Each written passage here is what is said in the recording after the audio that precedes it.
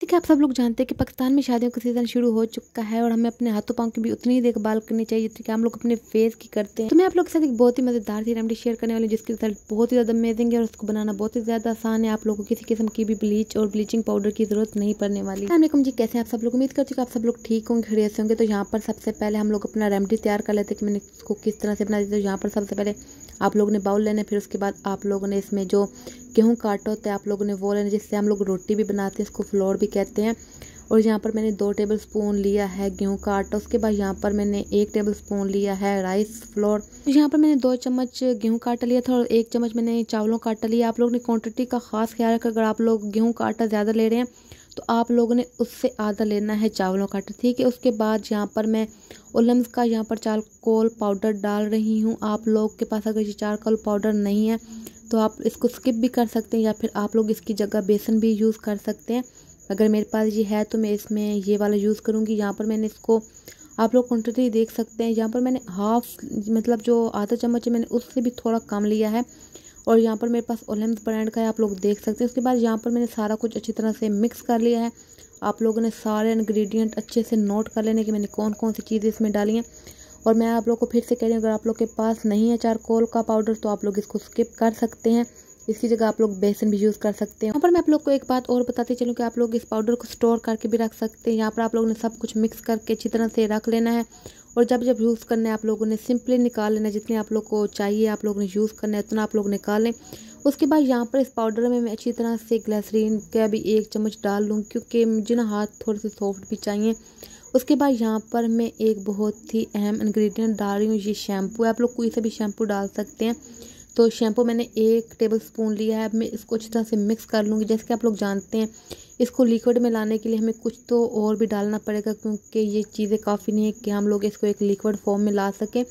तो उसके लिए यहाँ पर मैं अड़के गुलाब डाल रही हूँ। आप लोग सिंपली वाटर भी डाल सकते हैं और मैं पहले वाटर ही डालती हूँ। तो मेरे पास पानी नहीं थे तो मैंने अड़के गुलाब ही इसमें डाल लिया है। तो यहाँ पर मैं इसको अच्छी तरह से मिक्स कर लूँगी। यहाँ पर मैं आप लोग को बता दूँ कि आप लोगों ने इसका बहुत ही थिन सा पेस्ट बनाना है। आप लोगों ने गाढ़ा गाढ़ा बिल्कुल भी नहीं रखना। आप लोग जितना भी इसको पतला करके लगाएँगे, ये आप लोग को उतना ही अच्छा रिज़ल्ट देगा। तो यहाँ पर मैंने इसको अच्छा खासा आप लोग देख सकते हैं कि मैंने इसको अच्छा खासा पतला कर लिया है।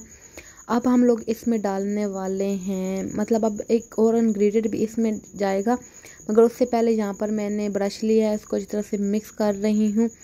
क्योंकि आप लोगों ने सारा कुछ अच्छी तरह से मिक्स करना है, कोई लम्ब ना क्योंकि आटा है तो आप लोग जानते हैं कि आटा थोड़ा स्टिकी सा होता है।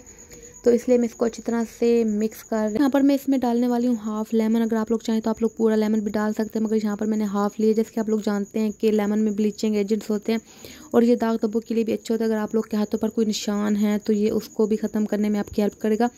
मगर आप लोगों ने इस रेमडी को यूज़ करना है हफ़्ते में दो दफ़ा, और आप लोगों ने तब तक यूज़ करते रहना है जब तक आपके हाथ पाँव अच्छी तरह से साफ़ नहीं हो जाते। यहाँ पर हमारा रेमडी तैयार हो चुकी है। अब मैं इसको अपने हाथों पर अप्लाई करके आप लोग को दिखाऊँगी, और आप लोग देखिएगा कि इसके रिज़ल्ट किसी भी ब्लीच से कम नहीं है, किसी भी स्किन पॉलिश से कम नहीं है।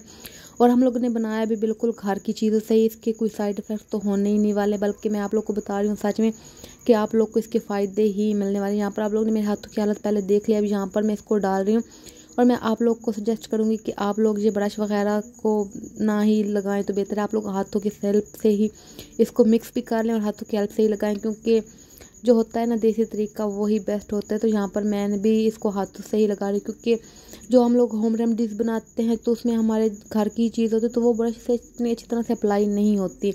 जितने कि वो हाथों की हेल्प से अप्लाई होती तो यहाँ पर मैंने हाथों पर इसको अच्छी तरह से लगा लिया है। और साथ साथ आप लोग देख सकते हैं, मैं इसको मसाज भी कर रही हूँ। हम लोग ने चावलों का आटा डाला है, जिसकी वजह से हमारे हाथों को ये अच्छी तरह से स्क्रब भी कर देगा, ये स्क्रब भी है, ये वॉश भी है।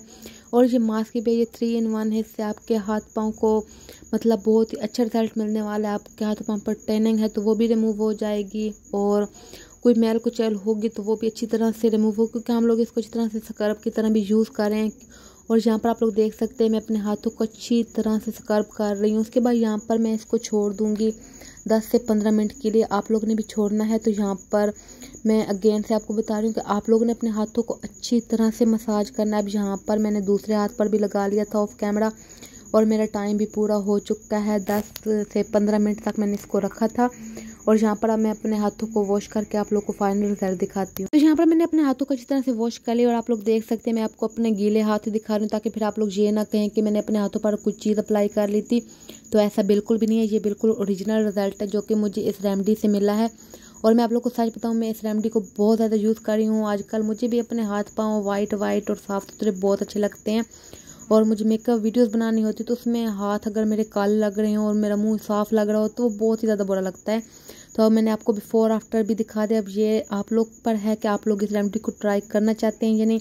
अगर आप लोग इस रेमडी को ट्राई करें तो आप लोग मुझे नीचे कमेंट करके ज़रूर बताइएगा कि आप लोग को ये रेमडी कैसी लगी है। बाकी आपको आज की वीडियो कैसी लगी है, आप लोगों ने मुझे ये भी बताना है। कमेंट करके इसके अलावा आप लोगों ने वीडियो को लाइक करना है शेयर करना है चैनल पर पहले दफ़ा आए तो चैनल को सब्सक्राइब करना है। आप लोग को कहूँगी कि आप लोग एक दफ़ा तो इस रेमेडी को ज़रूर ही ट्राई कीजिए। अगर आप लोग को पसंद ना आए तो कहिएगा। फिर अगर आप लोग को पसंद ना आए तो नीचे कमेंट सेक्शन आप लोग के लिए हाजिर है। आप लोग मुझे कमेंट करके भी बता सकते कि आप लोग को ये पसंद नहीं है या फिर आप लोग के लिए इसने काम नहीं किया।